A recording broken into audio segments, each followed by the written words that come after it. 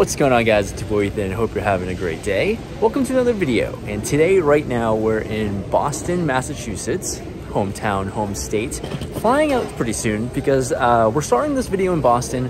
We're gonna end the video in Australia, in the Gold Coast. So to commemorate like this 27 hour long travel that I have, I want to do something different and do more of a personalized vlog. So if you care more about the poker hands, you want to skip just to that, there's a timestamp here for when the poker hands start. But I uh, wanted something a little different to capture the journey, the travel, the experience. First time ever going to Australia for a WPT series, so really excited about that. So get ready for the coolest 27 hour trip. Um, I'm not really looking forward to this, but at least I can make some content along the way and shoot some cool b-roll. So let's get into it.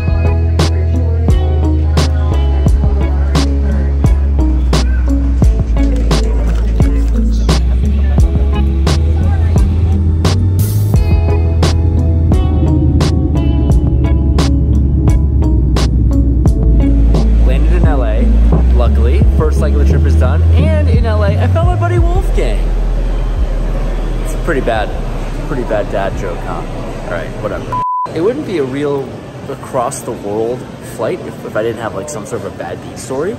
So in the first like B-roll that you might have seen, it might have popped up red when I tried to scan my tickets. Turns out I almost didn't get on the flight from Boston here to LA. Luckily I got a seat, but I signed up, I bought and fully paid and checked in all that fun stuff. I had a first class ticket this entire trip, the whole 27 hours, because when you fly 27 hours, I kind of won't need to fly first class. But somehow they got rid of my seat, my first class ticket here at United, and uh, I almost didn't get a seat into the flight, but I, I, bumped, I got downgraded from first class to economy. But luckily this was only like a six hour flight. The real flight is the one coming up, which will be from here, LAX to Sydney, Australia. 15 and a half hours to go.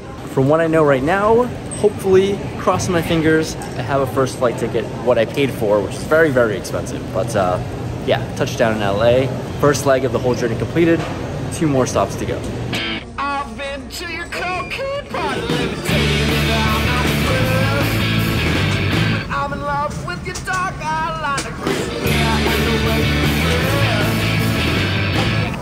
Conveniently, got served some champagne. This wasn't supposed to be a WPT Global uh, promo, but you know, as it turns out, anything can be. And I'm actually going to Australia to play WPT anyways. So, um, if you guys want to hop in and play from, you know, almost anywhere outside the US, use the code down below.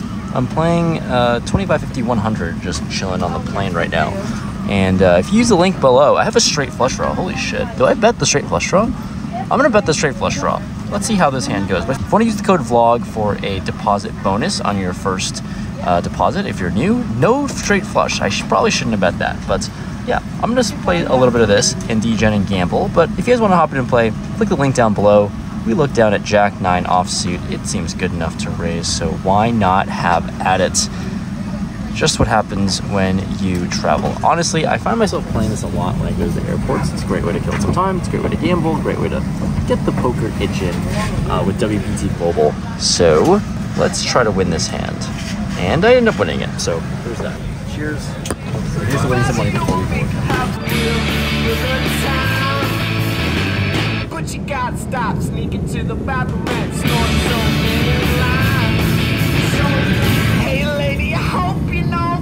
not the one trying to change your way. But I felt your icy cold fingers and sweat on your face. Yeah, I seen you smile, ooh, pretty, and I know you got something Never forget to reapply.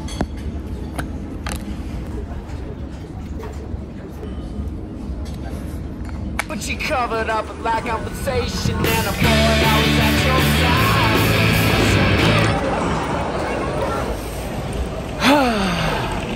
28 plus hour long journey, one downgraded flight to economy, one missed connection that I didn't really talk about, and we're fucking here in the Gold Coast from Boston, Massachusetts to Gold Coast, Australia. I'm so excited right now. The, the, the sky, the sun is out. It's beautiful here.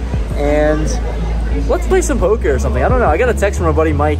He said he's thinking about doing surf, like group surf lessons, which is so cool. I'm excited.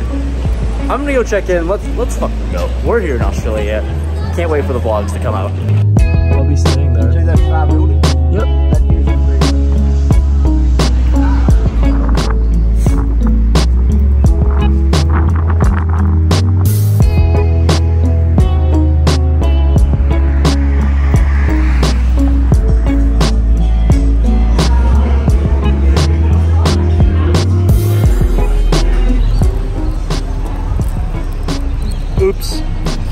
An oopsie.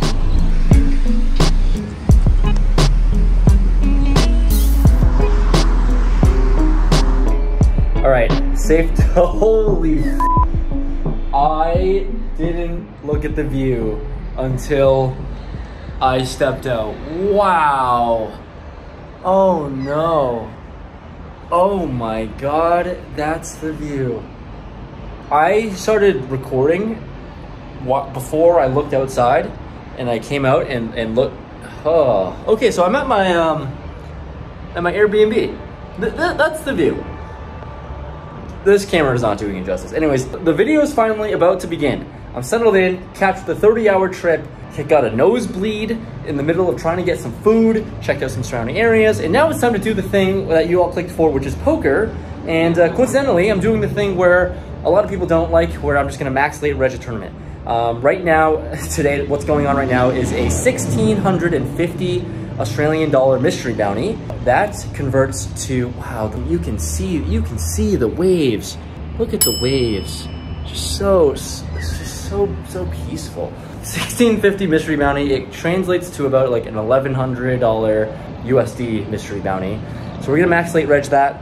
We'll see how much content's gonna come out of it. I'll definitely add more poker, but poker video starts now. We're gonna do some poker stuff. You're gonna go downstairs, get some chips, go play a tournament. I'm gonna sit back and enjoy this view for a little bit though. Holy shit. Onto the 1650 mystery bounty we go. The very first tournament we're going to play here in this Australian WPT series. Let's get into it. We're in level 9. We have 40,000 starting chips, and we pick up ace queen offsuit in the cutoff. There's an undergun raise to 2,500, and here in position of that, I decided to call and not re-raise at this specific time. Small blind and big blind comes along. So multi-way to a flop, which is king 10 deuce to spades. Small blind player does something somewhat unconventional and leads for 3,500. And when action folds all the way back to me, interesting spot. Um, I've never seen this lead before, so maybe he has a good hand like a king or something. I decided to make the call because I have an ace, I have a gut shot, straight draw to the nuts. Let's see a turn. Heads up we go. It is the three of clubs, and this time my opponent decides to bet once again, but the good old same bet of 3,500. Now I'm even more confused. Is he trapping me? Does he have a weak hand? Ace Queen, once again, cannot fold for this price. Can we see a jack on the river, please? It is the four of diamonds. So uh, just a whole lot of nothing. He once again, my opponent bets 3,500, and it seems really silly at this point to give up and fold. I mean, I could certainly like you know kind of go blaster mode and raise him, but I I sheepishly fold. It it is a little embarrassing to be honest to call 3,500 flop and turn and now folding. Um, it looks a little bit sus, but I have ace high and uh, you know nice hand to my opponent. Moving right along, the next hand, pick up a better hand. This time it's ace king on the button. There's an early position shove of 8,500. And, well, I'm certainly not going to be folding, so I make the call. Everyone ends up getting out of the way. We are up against pocket nines, good old flip. And I see a king high flop. Somehow, some way, the player in seat one calls out the 10 of clubs turn. What a magician pretty impressive to call out the exact card to see on the turn and river ace. I end up holding and winning this one. So i don't double up but i do chip up in a nice manner. Progressing to level 11 blinds have increased to 1k 2k and i pick up pocket sevens in the low jack. And under the gun raised to 4500 here. I decided to make the call with a playable pair then the button goes all in, but it's not a whole lot for 33,000 total. The ungun player gets out of the way and folds, and here I'm actually not very happy to see this, to be honest. I thought about it for a while. Is my opponent going to be shoving worse hands like sixes, fives, fours, all that fun stuff? I don't necessarily know. I haven't seen how these players play, but there is only for 16 big blinds. There's a lot of chips in the middle and sevens. Let's see a call, hoping to flip. No flip. My opponent has pocket tens, and I'm drawing dead when he flops a set, and I'm drawing even deader when he turns quads. That is too bad. Uh, my stack gets crippled losing to quads. And uh, we're moving on to the next level here. I don't have many chips. 22,000 in my stack and the big blinds at 2,500. I have King 10 of hearts on the button. There's an early position raise. I am all in here with 40% of a royal flush. And my opponent calls with pocket fives and five's going to flop a set. That's going to be hard to come back from after a set here. Looks like everyone's hitting a set against me today, and just like that, I am out of event number one in the $1,650 Mystery Bounty Tournament. All right, bullet number one, tournament number one in Australia, not meant to be. I have an issue here, unable to film cash games technically right now. I'm gonna try my best to. So that's why I recorded this tournament. Like, you know, we'll see. The, the next clip you'll see is either gonna be a cash game that I'm gonna sneakily try to record or another tournament later on. But step one, touchdown in Australia, lost, which is going to happen a lot of the time. So, time to filming. Everywhere I go, I just cannot film, it seems like. Moving forward, maybe I can't record a sneaky cash game given that interaction, but we'll see. But I'm dead in the tournament. All right, immediate plot twist. Five minutes later, I have chips in hand. There's a 25-50 game that might be running right now, so I'm gonna hop in and try to film. I'll report back if I can film or if I get bopped again by the floor. But we're playing 2550 Australian dollars, so it's a little bit smaller compared to USD. We'll do all the conversions later at the end of this video, but hopefully things go well because I'd love to film some cash game action here in Australia and try to spin it up. So um, yeah, it's the biggest game running right now in the casino. Let's hope it runs. Into the cash game streets we go. I buy in for 10,000 Aussie dollars. We're playing 25.50 and we're playing four-handed as the table just opened up. Pick up fives in the cutoff and raise it up to 125. Get the button to make the call and we see a flop of 6-3 deuce, two hearts, and a club. Very cool flop here with second pair, gut shot, lots of things going on for me. I check it over my opponent and he bets out 100 for 100. I could check raise sometimes, but I think my hand just wants to call a lot. So we're going to see a turn, which is the Jack of Clubs. Card over my pair, brings in a backdoor flush draw. Lots of things happening here on this board. I check it to my opponent once again, and he fires up for a larger amount this time of 500. I think here, uh, facing a $500 bet, I am not going to be folding, right? Like having two fives is pretty powerful and strong, but I certainly don't know how I'm going to be able to win this pot moving forward on the river, but let's just hope to improve.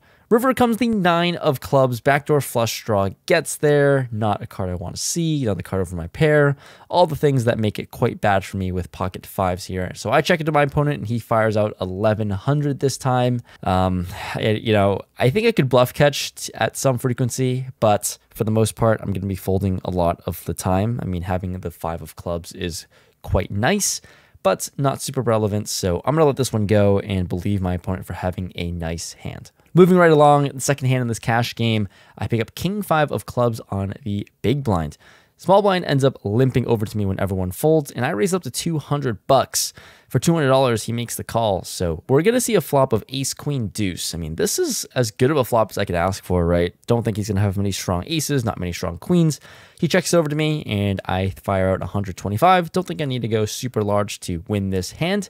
And for 125, he makes the call. Going to see a turn, which is the 10. Another lovely, lovely card to look at, because now I have a straight draw. Improved with some equity. He checks it over to me, and I'm going to fire out a little bit larger this time of 450 bucks before seeing a check raise of 1300 that is going to force me to snap fold. So nice hand to my opponent. Looks like everyone has the best hand against me today for the first two hands. Let's try to climb back with a good old 5-7 of clubs.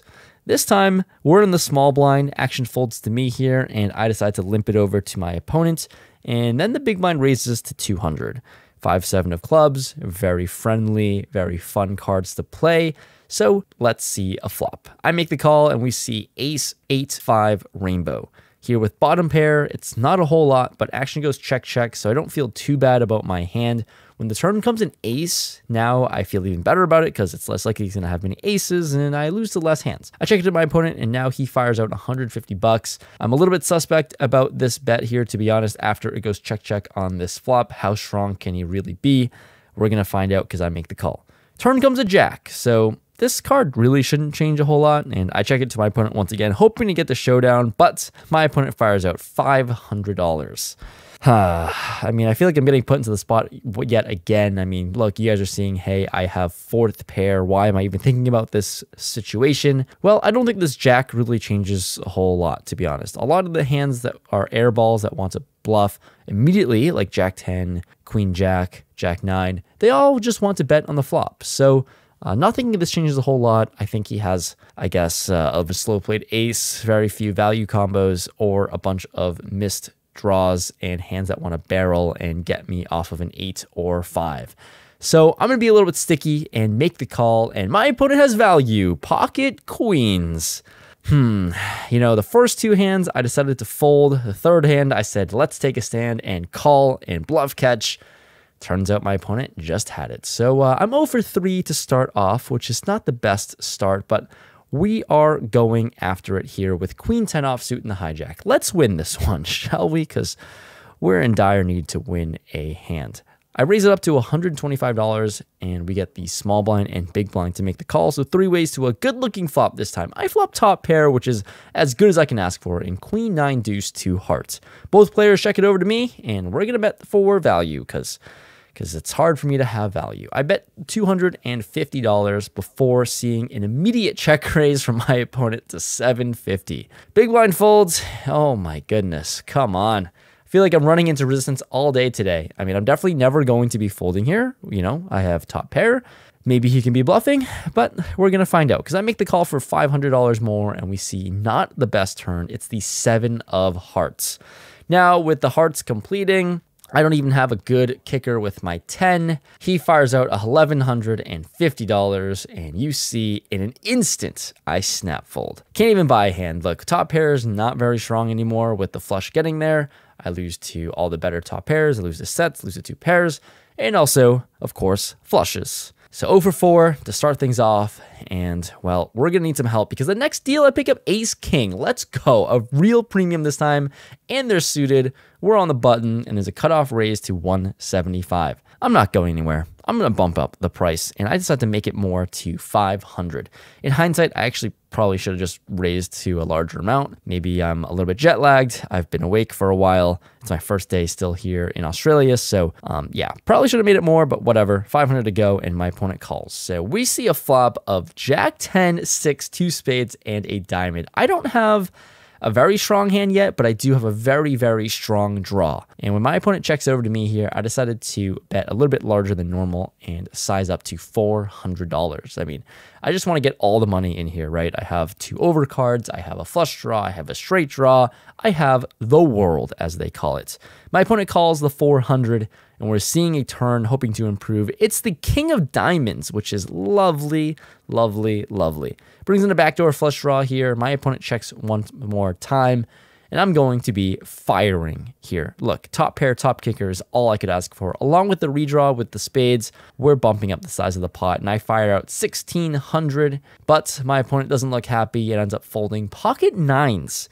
So look, I didn't win the maximum here, but I did win the pot, and that's the first hand I've won this entire cash game session. So I've got to show this at the very least, and it's very good for morale. Let's keep the run good train going. I pick up King 8 offsuit. Not really the best hand in the world, but there's a $100 straddle on board, and I'm in the big blind. Action folds to player to my right. He makes the call for 100, and I am not going to stand for this. I mean, King 8 isn't really a great hand, but uh, it is good enough to want to battle and get in there. So I raise up to 450. Probably not approved by most good poker players, but you know, we're here for entertainment. Anyways, the straddler calls the 450, which is already not very great. And the small blind calls as well. So now we're going multi-way. The pot is ballooning, probably one of the bigger pots we've played all day so far. And I have a very bad hand. Anyways, the flop comes king, queen, four, two diamonds, and a spade. So all things considered, I can't really complain about having top pair in this spot. Small blind checks it over to me here. I decided to check because my top pair isn't even that good, and I think the straddler is going to have a strong hand a lot of the time. Anyways, the straddler does fire out a bet this time to 450 bucks. And when the small blind calls this 450, I am in a world of confusion. Certainly could check raise sometimes. Uh, certainly not going to be folding. But like I said, this is by far going to be the biggest pot we're going to play tonight. And uh, it's only on the flop. So I just decided to be a little bit cautious and make the call. I mean, you know, my eight kicker isn't very good, to be honest with you. So we're still going three ways to a turn with the pot ballooning up. And it's the nine of spades. Pretty scary card, honestly. Two flush draws on the board. Jack 10 gets there. Two pairs get there. I'm not really loving the situations. And luckily, action goes check, check, check. So no more money gets put into the middle here. But we're going to the river, which is the six of hearts. So all of the draws brick out essentially, but this time the small blind player fires out a bet of 1650. Betting into two opponents out of position always, always seems really, really strong. And I just don't feel great about my king, to be honest, here. I mean, I do lose to a whole lot of hands, but I also beat a whole lot of missed draws and hands that just won't be able to win unless they want to bluff at it. So I'm unfamiliar with my opponent, but I definitely have to give him credit for being able to bluff. I'm not going to be folding my top pair. I feel like I've under repped this hand quite a lot. So I call, hoping the person behind me ends up folding, and luckily it ends up happening. I tank call, other player folds, and the small blind shows king deuce, and my eight kicker is going to play. So, whew, lucky to win this one here, honestly. Uh, when my opponent is value betting here, I just can't really expect to be ahead a whole lot, but I found one of the hands that I beat. A worse kicker of a king, and just like that, I'm going to scoop the largest pot of the night, and that's a pretty solid way to end this session, isn't it? All right, that's gonna wrap up this session. Uh, to conclude a very wild, I guess, a whole 40 plus hours of my life and journey, no better way to do it than right behind what you could probably not see because it's not well lit. Uh, little skyline of where I'm at. Um, Broadbeach is what it's called. I was, I was blanking on the name. Anyways, to recap, I'm here in Australia. Did I lose money in the tournament? Yes. Did I lose a little bit of money in a cash game? Yes because the numbers are I was in the game for $15,000, out of the game for $14,805, which is a little loss of 195 Australian dollars. And if you were to convert it, it's like 66 or two thirds of what I lost in USD. But you know what? I might have lost money today, but I'm here in Australia, and how upset could you really be when you have this view that would look much better during the daytime? Um, when I wake up tomorrow morning. Anyways, that's the journey. Thanks so much for watching. I'm hoping to have more videos and more vlogs from this trip because that would be really, really cool and very fun. And uh, thanks for watching. No more rambling. This video has gone on long enough. Thanks for following along and hoping I run a little bit better in the next video.